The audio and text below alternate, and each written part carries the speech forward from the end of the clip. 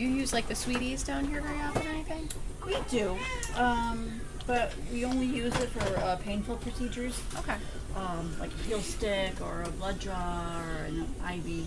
Okay. So